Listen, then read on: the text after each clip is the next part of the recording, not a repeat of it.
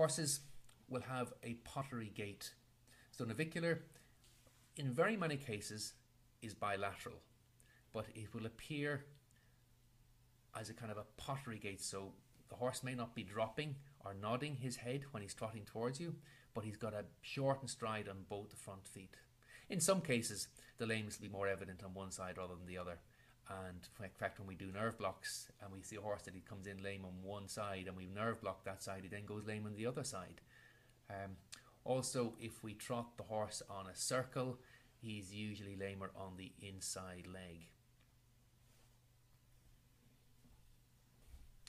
At this point, we're going to end this, this webinar session and in our next webinar, we're going to cover you know, the clinical examination that veterinary surgeons do along with the imaging modalities such as radiograph, scanning, nerve blocks, all the various tests that we use to help us to make a definitive diagnosis.